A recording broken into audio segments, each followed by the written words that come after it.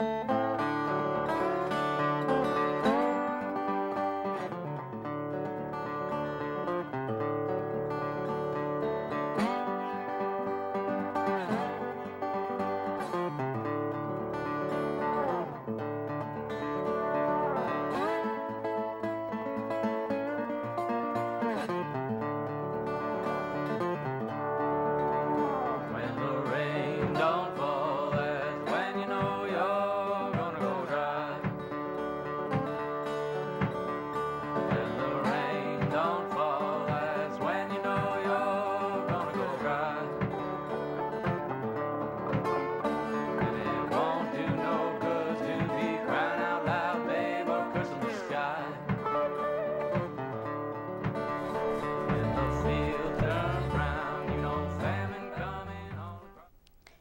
Welcome to Thinking Green. I'm Rana, and this show isn't exactly live. We are taping it a little bit ahead of our evening time slot uh, because the days are so short right now. They are. So, um, again, uh, now that elections are over, um, during the fall, we are going to be spotlighting uh, various nonprofit organizations in New London that are really making a difference in, in the city. So, today's guest is Susan uh, Tamulevich. Tamulevich. Tamulevich, okay. I, I realized as I was driving here, it's like it's been so long since I saw you, I don't remember which accent.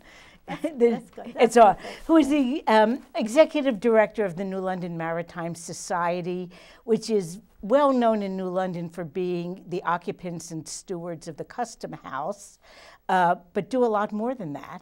So, welcome, Susan. Um, I'm very happy to be here. Nice to see you. I know you got here first because I saw the tree hugger bumper Oh, yeah. sticker on your car. I love what you're doing with the um, trees. I love that. Well, that was actually a gift, ge- uh, gift from Maggie Redfern, who uh, borrowed one of our cars while we were in California gallivanting over Yeah. the summer, and she left the bumper sticker on the seat. And seemed, you know, she's more of a, a better tree hugger than I am, but I love having the bumper sticker.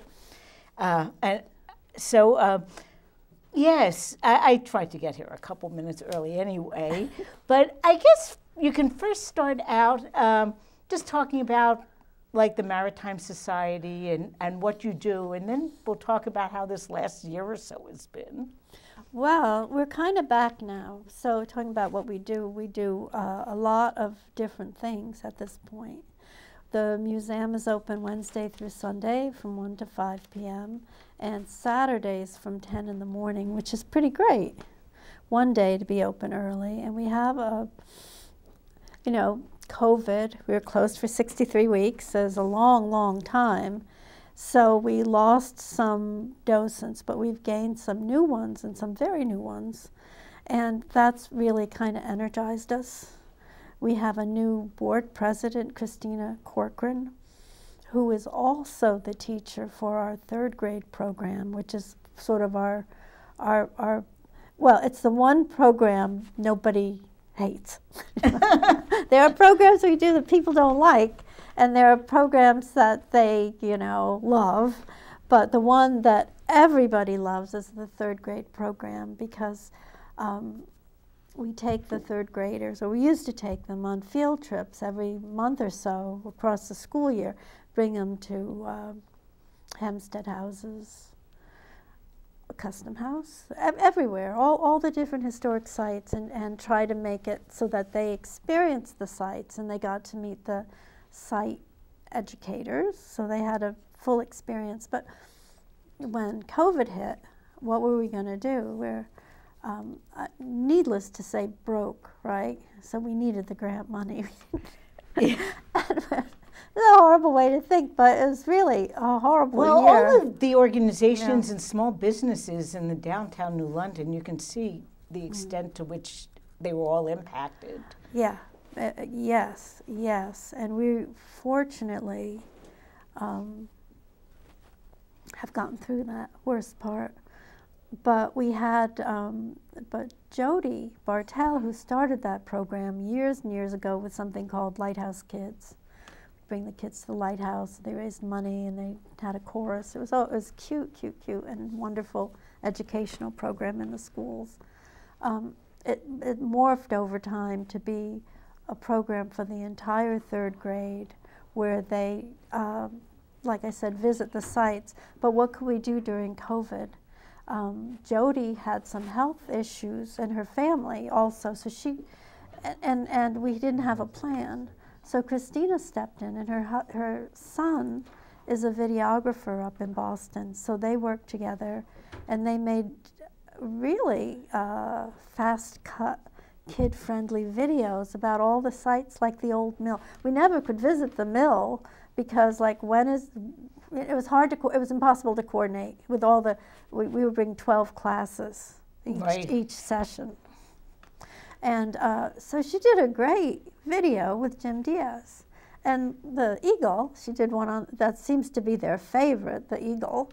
And when could we ever have taken, planned for the eagle to be there and taken all the kids on? So as it turns out, the online program has been a great success because, for a number of reasons, uh, but it reinforces it in a way that a field trip is just a little out of control in a third grader's mind. It's just like so much fun. Yeah, it's a day off. It's a day you don't have to learn anything. Yeah. So so last year was surprisingly successful, and this year is really good too. And all the kids feel they have a friend with Christina, who they have the Zoom classes with. So they're coming with their families to the museum. And we never really, it never really hooked like that. You know, we'd have a few who would come. But now we have quite a few, and they, the, you know, we have an exhibit of their artwork, we, or did last year, and uh, they brought their grandparents and their siblings and pointed to their artworks. And I'll tell you, it's, it's quite heart, heartwarming. It, it really is something that was great and really experiential, and they'd probably always remember carrying water on their shoulders at Hempsted houses. But I think they're getting they're getting a pretty good understanding of the history and the geo- geology of the port a little bit more soundly. And so it, uh, it's actually working out. And next spring we're going to do a, a bus tour to all the sites, and it'll be a day instead of you know a couple of hours, and it'll it'll be great.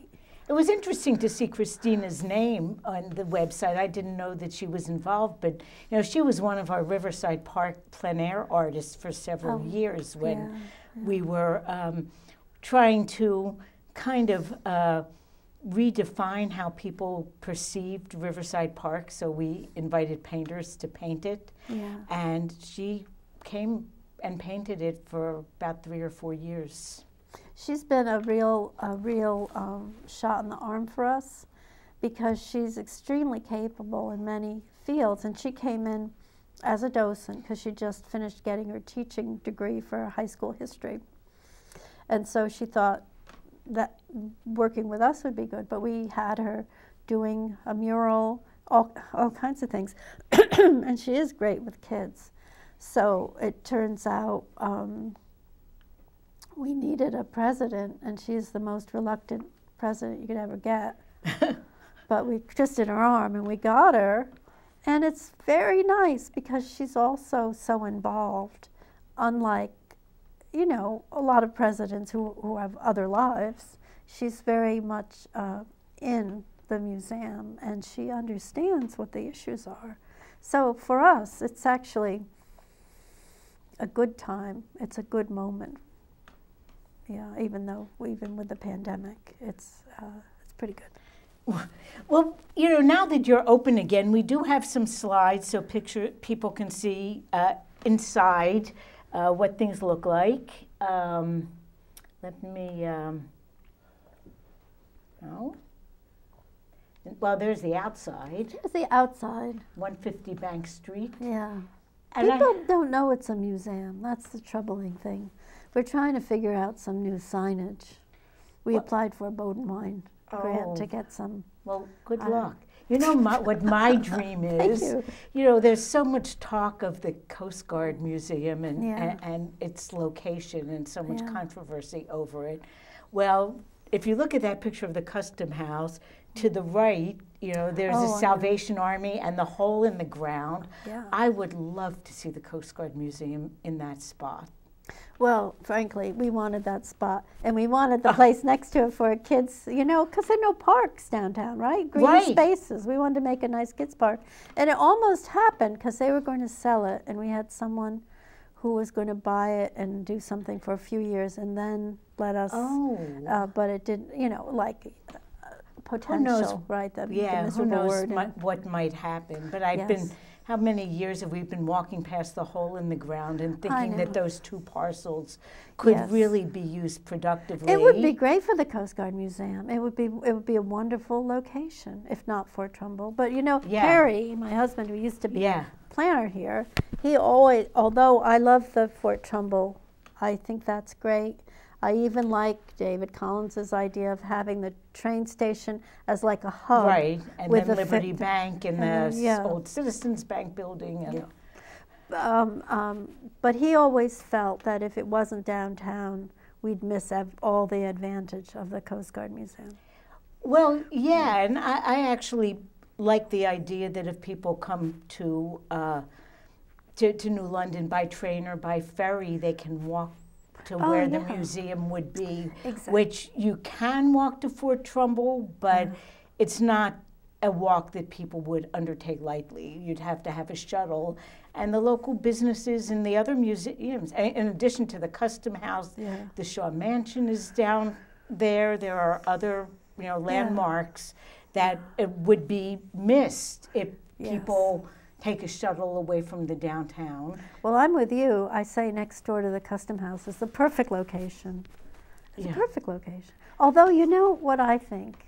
That there are many alleys that if you cut them through and you had those views down to the water, Yeah. that would just open up up New London in such a nice way. And uh, I don't know. Yeah. So um, the the custom house is now open, so you can Yeah. see some of this. Uh, these things, but we have some pictures of the inside.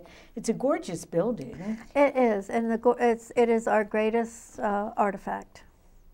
It's the whole reason there is a museum because it was a very early preservation effort on part of New Londoners. It was going to be uh, like the lighthouses. They didn't have any more need for customs, really, basically, nothing going on on the waterfront. So they said, let's get rid of the building per GSA operation, and the citizens rallied. I didn't know anything about that. They did. That was the earliest one, I think. It was even before. Um, The train Well, station might it have was- was one of the early rallying. I think it was even before the train Wow. station, but I could be wrong. But anyway, they did it, and for a dollar, it went to the city of New London. And then what do you do? Because there's an art gallery, there's a um, history museum, there's all kinds of things. There's a maritime history, of which there is ample material. let's just for say. a custom house. Yeah, it's it's it's just uh, to me always a surprise. You know, every so often, you know, a docent doesn't show up, and I give the tours, and I tell one one tale, and we go to the next place, and it's all inter, it's all interwoven in such a beautiful way in New London. The fishermen and the customs and the lighthouses and the everything. It's just uh, all to, all one big. I don't know what you say. Yeah, I don't know. It does all come together It here, does come doesn't together. it? It does come together, and the waterfront, Let's see. and it's all it's all fascinating, and the artifacts are beautiful. Now this, so uh, Yeah, talk about. I, I saw this picture, and I did personally didn't know what to make of it. I included it, so I did want to ask you about it. Well, you know, the museum is only um, 38 years old. We just had our annual meeting, 38th, and um, so I have to say, with with no bitterness, um, that many of the artifacts that should be in New London, like let's just say all the whaling stuff and uh, on Yeah. and on and on, is at Mystic Seaport, elsewhere, Right. New Bedford, you name it, and not here. And um, there was because there was no no body to take it in, or who had the money, frankly, in some cases. And um, so, what was the museum going to do? Opening up with the elephant in the room down the street, Mystic Seaport. So, um, there are many people, though, in New London who absolutely love history, maritime stuff. And you know, with the uh, submarine base, right? So many divers, and the divers uh, moonlight and they give diving lessons. So you have amateur divers galore, you have professional divers, you have military divers. And in our membership, we have two people one, um, Jay Kane, who is a professional diver, and he works on bridges, he brings up wrecks, he does all that stuff. And he had a collection of uh, uh, vintage diving gear, that suit. Yeah, that The- would be scary to go down. Oh my God! And, and you know that, and the sixty-pound helmet and the twenty-pound lead shoes, all of that was the standard diving gear for the Navy up until the nineteen eighties. The uh, Mark V suit. That one, that suit, Wow. that helmet that gleams a little bit, sort of over to the right. Yeah. Yeah, that's it. And um, and you know, i- it's such an evocative exhibit of you know the great mystery of the sea and Jules Verne and all of those stories you you had as a kid. The other collector who just received a, an award from the Historical Diving Association, he's on their board, but he collects sort of the handmade helmets made out of boilers and what you know. You, if you look at that, it's a lot of weird helmet devices, and they're homemade. They're like folk art. And how these people had the nerve to use them, I do not know. But they're all very interesting, and uh, there's nothing the kids like more than that exhibit because it just gets them thinking about SpongeBob and. that was just a family that came Yeah. in. Uh, we have a, a relatively new uh, exhibit called Kids Ahoy, and it's about, you know, there there was a very very well known exhibit on uh, the sailor influence on women's fashions, like uh, high fashion. Oh yeah, I Um, kind of remember that in my lifetime. a long time ago. Well, it was um, it was done over at the, the either the Victoria and Albert Museum, one of those fa- fashion museums over in uh, England, in the UK, and and I thought about it. I thought, well, you know, it's had an equal effect, if not even more, on children. And so we have this great exhibit tracing from Queen Victoria Wow. who married right Prince Albert. He was not the king, but he was made the head of the navy, sort of. So when they had a child, uh, Bertie, she surprised Albert when they went on the royal yacht, yacht by having the um, tailor for the navy make Bertie, six-year-old Bertie, a sailor suit. And he was, uh, of course, painted in oils, and it's Wow. a beautiful painting. And every royal family across Europe followed. And we have pictures of uh, Winston Churchill, of course, the Russian Romanovs, all, all the families with their children, the next generation, everybody wearing s- uh, sailor outfits. And then it, it, the whole world, it seems like that was the uniform of childhood because a sailor is supposed to be obedient, right, and uh, dedicated, and you know all of those good things. So it, so we trace it, and we trace it with the toys and uh, entertainment, all the way up to the, well, pretty recently, 20th century, let's say. Yeah. Yeah. I think even in the 1950s, certainly. Oh yes. Oh no, we have it up to uh, I don't know. I can't remember who that. Uh, all, all the cartoon characters, but there are lots of them. There are lots of them, and, and it's so much fun, and people like it. The, the parents like it as much as the kids. And that particular steering wheel was uh, the, uh, donated to us, and the Blackers um, uh, brothers uh, made a stand for it. So we have a place where people can take selfies with sailor hats, and Oh, that's what that family was doing. Yeah. And then um, the last, I think this might be the last indoor picture, I'm not sure, of the library and the Oh. librarians. Yeah, we are really lucky. We have um, the museum the museum has like two parts to it. Has this library, which is immaculately cataloged and always growing, and and has, as you said, a lot of online resources.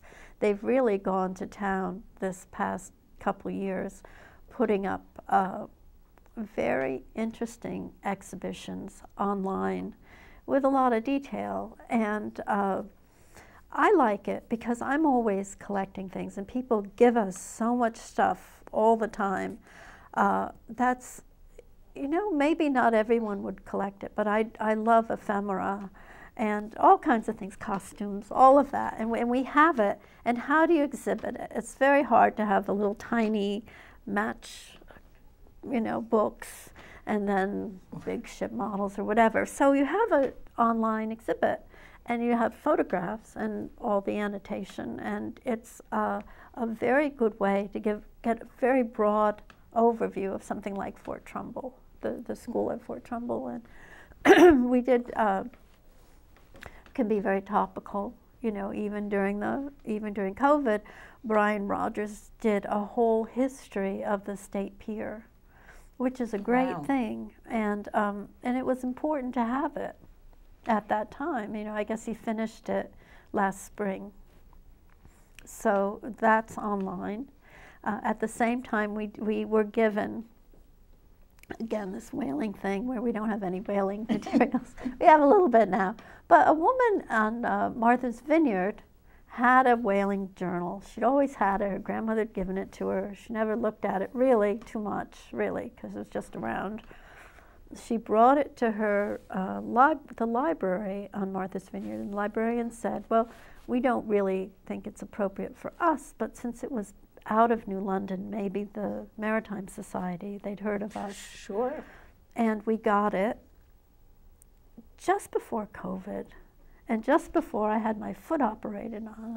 I, I, I dig, was digging and dislocated a bone Oh in my my, foot, so it's like a timely hang around type of uh, recuperation. You know, it takes a long time, and so.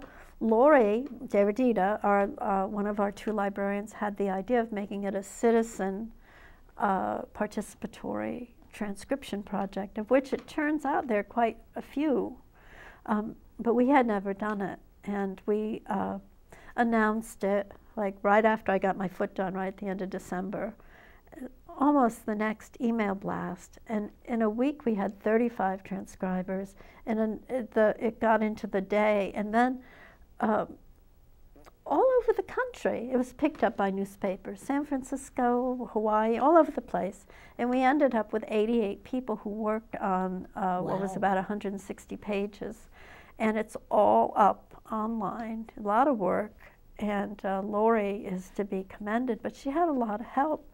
She had a lot of people. Like I said, New London is amazing.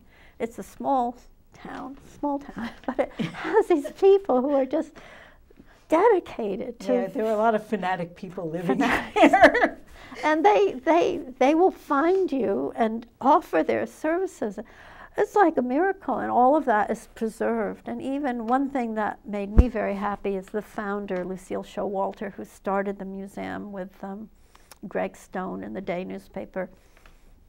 She died in the early um, 20s like 2002 or something like that she died a wh- while ago um, her son, who lives out in Ohio, he always visits every year, but he uh, jumped in to help with the transcription Wow. project. Lots of people who you were cut off from with COVID um, showed up online. It was a perfect COVID activity because you were doing something worthwhile at your leisure in your pajamas, whatever. right. And then, it, but, but but we were really fast. We got the transcriptions in. Uh, Lori edited them. She slapped them up there, got it all together. And then Craig Showalter um, took the literal page and made it more readable. So we have um, a couple versions of it, but we have uh, a, a, a large article of context to go with it. We have the colloquial sort of version, the more readable one. We have the literal transcription that our guys did. It's all, um, it was very gratifying in a dark, you know, little period to have so much participation, have a really good, good activity going on. It is kind of an odd thing reflecting back on that past year and a half that there were opportunities to do worthwhile things that none Mm-hmm. of us would have thought of before that. It was. It's. It's kind of funny, isn't it? It's. It's kind of funny, and the whole Zoom thing, which we are pathetic at. Let me just say, our museum. uh, uh, If you ever watch them, they're the worst. Um, in terms of how it's run, like we just did, we just had a Jaboom talk with. Um, Claudia Kenyon, who is a charming woman with wonderful stories. Her, her, her family is from the um, West Indies, St. Martin's, and uh, her uncle Louis built a sailboat down there and used to bring the uh, trade between the islands and people between the islands. And then a lot of his friends moved to New London, and he retired here, worked for Electric Boat, and he built a, a large model, large model of the gull. And um, after he died, uh, Mike Toussaint, who's Claudia's brother, inherited that, and he fixed it up, and he wanted people to see it and brought it to the museum. So we've always had it in our main gallery downstairs, and it's it's a wonderful thing because people come in and they say, "I remember that boat." My cousin. it's, it's very nice. So our museum, like, it's not it's not the. Uh, we do have some fantastic items, but much of what we have, going back to your like original question, is given by in the community, and it makes it so much more fun, frankly, and uh, it's it's kind of a, a community museum. So we have a couple more pictures just inside, and these might be going into more like the gift shop area. Well, I'm is a sure. pretty good gift shop. That that picture in the gift shop is is uh, Christina. Oh, that is, that is Christina. Yeah, Um, well, with- we don't see it up screen yet, but I Oh. think. The um, uh, and that was just last weekend. Oh. Because you know she started teaching the the third graders, and one of the third graders brought her mother in, right off the bat to the museum. It's just fantastic. I love it, and it's it brings in um, a younger population, and uh, you know it's it. Another thing I will say about Christina, like I have to say, she's been a breath of fresh air at the museum. She gave uh, a considerable donation, let's say that, to make it free for, because when she was teaching the class, she realized that the, the students couldn't afford to come. You know, the kids are free, but the parents, it's $7 a piece. Right. I, I guess I never realized that was such a barrier. No, it's just the way it was. Um, and she said, No, I'm, I'm going to give a donation in honor of my dad, who was a teacher, so that all New London students and their families and friends, whoever comes with them, can come in for free. And it's made quite a difference. It's, it's very, very nice to have them, them come in. It's great. And it is that other community dimension that the kids visit as part of a class trip, and then they can bring their whole families. Well, they learn they they learn stuff, and they tell their family what they know, and I love that. You know, they're the they're the expert because they've they've learned the history. And one of the other things is because she has these great um, work worksheets for the teachers. Uh, one of the teachers I know, at least one of them, and there are ten different classes she's working with now. Um, they keep them in a notebook so they can bring them home and show, share it with their family. So we do have a couple of gift shop pictures. Let's see if we can get them. Oh, Oh. yeah, there's Anna and Jack. That's right. They were just in last week too. You know, when I, I, I'm, I am very sensitive to the population of, of uh, our city, and I've gone to those gift shows and asked for years for things for children of color. It just seems, well. yeah. Oh, those, that's the um, family who came in with Christina last weekend.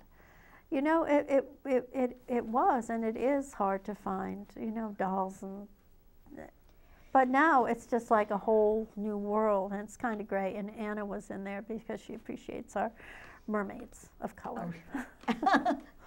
so Well, it's funny. You know, I was a preschool teacher for years before I retired, and I, um, you know, I was always looking for washable baby dolls that were, should I say, they, they were gendered and diverse. yeah, And there were times when it was easy to find, an, you know, anatomically correct and you know Yeah. ethnically diverse uh, washable dolls, and then there were sometimes that they just disappeared from the catalogs. It was very strange. yeah, it is strange, but we're on the upswing now. We have a lot more diversity, so that's great. Now, in addition to now to just kind of switch gears a little, in addition to um, the Custom House Museum, you're also stewarding lighthouses. So tell us about the lighthouses. Well, before I got there, um, Ben Martin, who'd been the president, he, he loved New London Harbor, Harbor, New London Harbor Light, and he had put in an. It, it was one of the. Go back a little bit. The, the lighthouses were being sold off in the same way the custom house was going to be sold off, and a lot of people thought that was disrespectful because it was really hard work for centuries, people working in these lighthouses and saving lives. And they, they just thought it was extremely disrespectful. They lobbied and got a, a Lighthouse Preservation Act passed, I think it was in um, 2000. And they did a, a test with a couple of lighthouses to try giving them to nonprofits. And then the first year of the formal program, one of the very first lighthouses was New London Harbor Light, about 2001 or 2002. And New London applied, um, New London Maritime Society. They do offer them to the municipalities first. And if the municipalities turn it down, it can be, uh, you can apply if you're a nonprofit. And if nobody is found worthy, they just sell it to the highest bidder. So New London Maritime Society won the lighthouse, but they never got it. And when I was um, interviewing for the job, which was 2008, it was like a big joke. Someday we were going to get this lighthouse, but they didn't know when. Um, and it, it was a lead paint remediation issue that the Coast Guard had to deal with. But whoa, the very almost two years later, we got the lighthouse. And it's a weird thing, you know, what, what do you do exactly?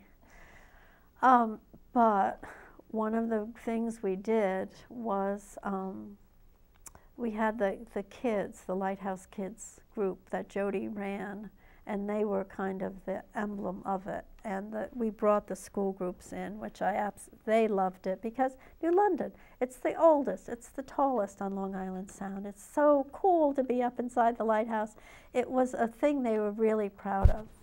And it's so, So- famous, it's on the postage stamp. It was the stamp representing Connecticut, right? And, uh, and, and so, yes, that's what we started with the education. And then we started with um, uh, visits with people, limited, you know, accompanied, accompanied by us. And that picture is of another one of the school children who uh, one of the videos Christina did was of the lighthouse, and she had her family go up inside the lighthouse. Isn't that nice? Local family Yeah. wanting to go.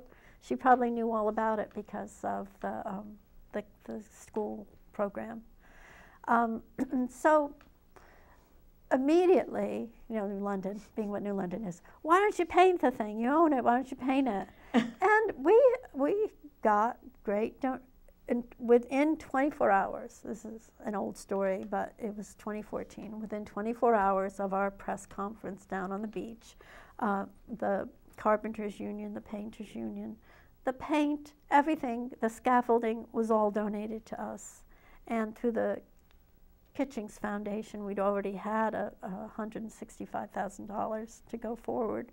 So we were able to do it, you know, raising money is no, not my strong suit. But um, I thought it would take years. No, we were able to get underway immediately. And uh, So the, the lighthouse was um, repointed and made very sound, repainted. It's the, on the north side. It's going to get moss, so I don't mind that. It's what? How old is it? 200, and- 221 now, and because it was uh, rebuilt in 1800. It's from seven. Actually, every building in New London gets moss on the north side. So it's appropriate. It's appropriate for an old building, and uh, you know, but but we love it. We love it, and, and we give tours. Um, right now, we we received a grant for sixty thousand dollars. Uh, well, just before the pandemic, to do landscaping. So we're at work on the landscaping right now because you get there, and frankly, it is kind of funky. You have neighbors right on top of you, and Yeah. so we're going to put fence in, uh, shrubbery, beautiful little area down at the end, because when you get onto the ledge, and it, the water opens up and you look at the lighthouse, it's spectacular. And then you go inside, up in the lantern, you can just see so much. So we want the whole experience to be that great right from the beginning. So the landscaping is going to really transform things. And the grant was called Good to Great. So it's going to turn what was a pretty good experience into a great right from the start. Excellent. And now, uh, ledge light. Ledge light. What's- what's, what's, what's with ledge light? Yeah, what is with I hope you know because I don't. Because if you look at the, the, the foundation, this was taken, the um, Cross Sound Ferry very, very generously gave us a ferry trip. Well, I, I asked for it, but they gave us a ferry trip for our annual meeting because the lighthouses have kind of suffered with COVID. We haven't had a lot of activity there. And um, uh, this year, Ledge Light had its foundation patched and repainted. So it looks spiffy. It looks like it floats above the water, actually, instead of like it's emerging from the primordial goopiness. Um, it looks pretty good. There, there is a group that's been there since the Coast Guard. It was manned in many people's lifetimes. Many people tell stories of going by in a on a surfboard or on a, uh, you know, and, and in fact, the, the last time I was out there, some people were coming out with those little skidoos or whatever they are in the water with their Oh. lunch. They were going to have lunch there.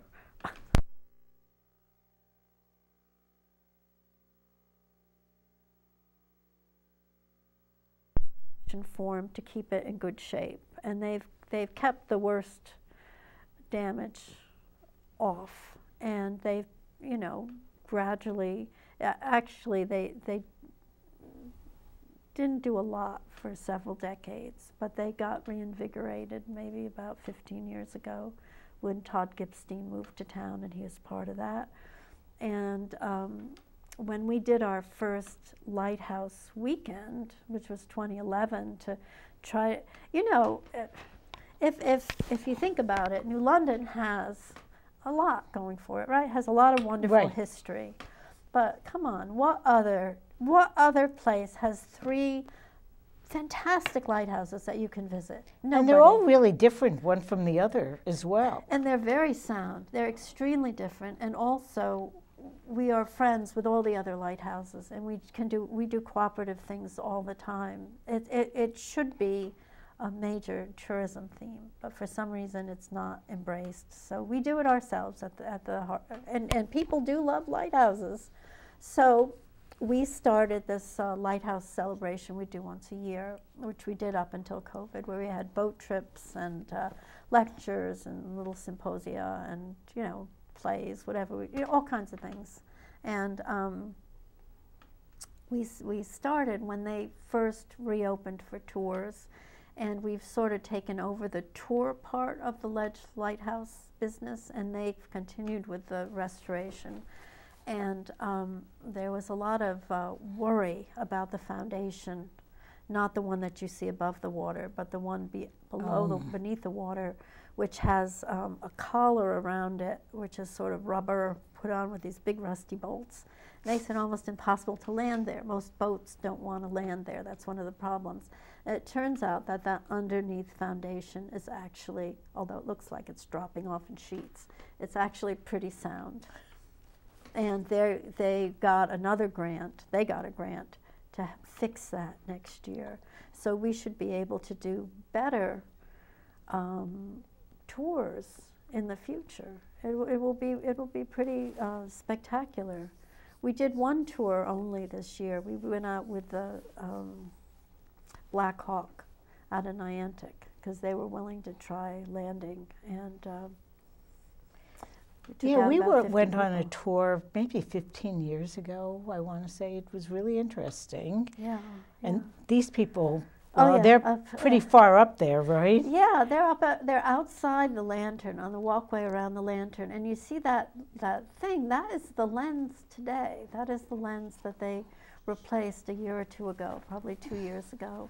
So we have the original Fresnel, you know, the big uh, concentric prisms Oh, yeah. in the museum, uh, which was the original 1909 lens at Harbor Light. I mean, at, at Ledge Light, and um, they have replaced it four or five times since then with upgrades, and this is the current one. Now, the third lighthouse, which I had no idea you had anything to do with, was Race Rock. I know it's the coolest. It is beyond. It is beyond fabulous. That lighthouse is so exciting and so difficult to get to. It's very. It's in the race, so the water every which way, and you can only land at slack tide. And um, we know we no sooner got this. We you have to really compete for these lighthouses because th- there was an era there where everybody wanted every lighthouse, and this one in particular. And I think one of the reasons is the uh, churning waters because there was some interest in doing the wave energy, Oh, yeah. which is not a bad idea if anyone is interested in right. pursuing The that. race seems like a Yeah. perfect place. Yeah, they should contact us. We would, li- we would license that in a minute if we could. Um, but it's a it's a spectacular again local story. You know, Captain Scott's Lobster Dock. Captain Scott T.A. Scott is the one who was brought here by Francis Hopkinson Smith, who was an artist engineer and they figured out how to do the impossible, which is to build that foundation. And it turns out, at, at our at our annual meeting, we had experts give assessments and uh, uh, preservation plans for the three lighthouses going forward. And the group, uh, Walter Sedovic, who did a preservation assessment and program um, preservation program for us a couple years ago, which we never presented because of one thing, you know, basically COVID, the long COVID. Um, he said that the use of uh, what do we call it, hydraulic concrete, uh, in, in a big way. They they built it up like a like a wedding cake Oh. with underwater because first they dumped tons and tons of granite, but they positioned it right so it would be locked together, and immediately it just just got Oh, my got- gosh. you know the tur- the the chur- churning of the water just did not allow anything to stay where it was supposed to stay, and so they they did this sort of wedding cake thing and using those dive suits. See everything Wow. with our food. Captain Scott's Lobster Dock. Who does not love that place? but it, it- he they figured out how to go down with divers with pails of concrete and fill this massive platform one after another after another, stepped like a wedding Wow. cake. And they built it. And, and honestly, I've heard from the GSA that the three lighthouses we have are three in the best original condition of all the lighthouses they've dealt with. There was a period of um, corruption in the lighthouse service, and our lighthouses were either built before that or after that. You know, the big 19th century early part was, was not good Oh, and interesting. then yeah, they got rid of him, and they and, and then they built Race Rock, which is so great, um, 1878 or something, and then uh, Ledge Light. So we have the three beacons leading into the harbor. It's a fantastic, fantastic thing, and um, it's kind of overwhelming. You know, you might imagine. Yeah. Yeah, what do you do? And it looks as though, uh, you know, approaching it, landing there even today Oh, is yeah. exciting. it's very it's very very hard and that particular summer of that picture we had um, we wanted one of our we have certain obligations preservation of course but we have to um, educate about the lighthouses which we do every day at the custom house of course but we're also supposed to we are required to provide public access. And what do you do at Race Rock? It's so hard to get out there. I mean, it's really crazy to get out there. And um, we we offered, I think, three weekends, two days each, uh, Saturday and Sunday. And um, I think maybe half of the trips made it onto the platform. The others, we were there, and we just couldn't let people go because you could get your you know, fall, your foot squashed between. You know, it's it's all very very dicey. So we, we don't take any chances. Well, I see this slide is from a, um, oh yeah. a virtual tour of Harbor Yeah, Light, but I'm thinking that Race Rock Station would also be a good place to do to it visit would virtually. be great. It would be. It would be. That's a. You know, that's an excellent idea. The kids love the lighthouses, and um, this is one of the videos that Christina made. Her son Curtis, who's a videographer, did it, and she's telling the kids, and there they are down below in their Oh, yeah. Zoom meeting, um, about the lighthouse. And uh, one of the n- nice things about Harbor Light is it has the Fresnel lens. The Harbor Light was first built in the 1761, so the lenses have changed quite a bit. But by the 1860s, it had a Fresnel lens in it, and that lens they've kept out of respect uh, for the the age of that lighthouse. Um, you know, it is amazing looking. it, it is. It's beautiful. It's tr- it's truly beautiful. And um, it, the original Fresnel lens from 80 years ago is still in that lighthouse, and it's it's really wonderful to walk up inside it and see that. So I'm going to just go through the slides that just have something, you know, kind of uh, summarize some of the programs you have. Here's Claudia from just a week or so ago doing her doing her talk, and there's the the, the model of the gull I was telling you about oh, in yeah. the back.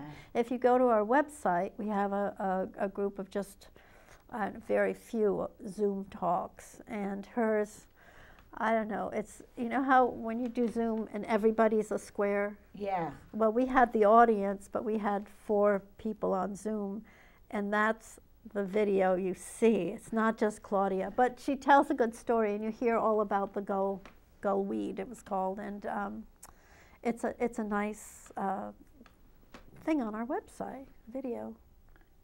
And then Oh yeah, this is one of Christina's initiatives. She was a um, deadhead, and uh, she loves making music, live music, and having it go on and people participate. And so she started this series of uh, open mics, and it's really successful. People come in from all over, and it goes from six to nine on Sundays when the museum otherwise would be unoccupied and you know just sitting there. And they have this really nice uh, these really nice sessions and people sing. She told a poem last time uh, people jam together all kinds of things I see we have five minutes, which means we really only have three minutes. So okay this is our soiree. We have one coming up uh, in the beginning of december the first wednesday.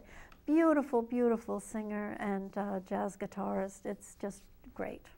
And then Ah, a lot of Yeah. music. We, we do. We love music, and this is. Uh, we were given a. Um, maybe the next picture has it. An 1816 square piano. Oh, no, this that, that's all right. This is Yeah. the Whaling Journal we were given, but but the Connecticut Early Music Society, usually up at Connecticut College, they decided to spread out a little, and we did two programs with them, uh, virtual Wow. last year. Um, Oh, yeah, this is with the off Whaling music, Journal. Yes. Yeah, Lori with the Whaling Journal. Let's see. Oh, yeah, I had found this about the Whaling Yeah. Journal that, you know, the this you mentioned the story was everywhere. The story was everywhere, and the but the, uh, the big story was that it was unsigned, and about five people who d- were determined to discover who the writer was, and it was Frederick Olney, a man of color in New London, who was the, the and he was he was uh, involved with the the school up in uh, this uh, the school for, for black children Oh yeah. and, and Prudence Pr- Crandall's yeah. and accused of burning it down, but immediately released when it went to trial because it was all trumped up charges. But but it was him, and he was related to uh, the Harris family, a fa- famous family with abolitionists in it. It's just like it just th- this little little forgotten journal opened up so many wow. interesting stories. And then, oh yeah, Coast Guard. Coast Guard helping us. This was another of our donations. These giant models. I, what do you do with them? Well, we, we, we manage, but And then I just wanted to show people the website. Uh, there is a lot of stuff on it, and um, I, I. I did a screenshot of this because I just wanted people to see the website doesn't really just say what is happening at the museum. It's actually sort of an archive of a whole lot of different resources. yeah, we try. Yep. And it's open. There we are. Yes, thank you, Rana. It's so nice to be here and to feel like things are back again. Well, yeah, and we have a couple, we have maybe, uh, yeah, but Bob's going to take this laptop. So uh, maybe in, in that in the next two minutes or so, you can tell people how they can either join or otherwise support the, the Yeah. Custom House and the Maritime there, Society. there are no, no end of ways to do that. We are, we are very um, dedicated. We have a weekly email blast, which is great. It has a lot of information, pictures of local people visiting the museum, programs. You can see that on our Facebook pages. We have Custom House Maritime Museum, we have New London Maritime Society, we have all the different lighthouses, one for lighthouses of Long Island Sound. You can find it. On the website, we have links to that. On the website, we also have the New London Harbor Cam, which I love. One of our donors Oh, gave out. yeah. I looked at the Harbor Cam. That was a lot of fun. since it was up, it, w- it went up for um, for uh, Sailfest 2019. We just made it. We got the fireworks up there perfectly. We've had 2.4 million people on that web on that harbor cam. Can you believe that? So it's a great thing. Um, we have a, a newsletter. You can pick it up at the museum, which is printed. We have. Uh, I don't know, uh, many ways, many wonderful programs. Not all maritime. Our music is not all sea shanties. We have all great diversity, and it's a lot of fun, and it's for all different ages. And we have a, a holiday celebration coming together really soon. I think it might be uh, December 16th. It's a, a Thursday afternoon before our board meeting. So um, please look at our website and, and see all we have going on because we want you there. And a great shop, a super great shop. Yeah, and, Yes. and, and you can stop by now five days a week, Wednesday Yes. through Sunday. Yes. Well, thank you, Susan. This Thank was you, Rhonda. fun. It was I'm so glad to be back, you know, Yeah. doing the show again because we also were off for something like 65 weeks Oh, or wow, you didn't even do this We, program? well, we yeah, I did about every so often we Yeah. did a Zoom interview, but no. Yeah. Uh, so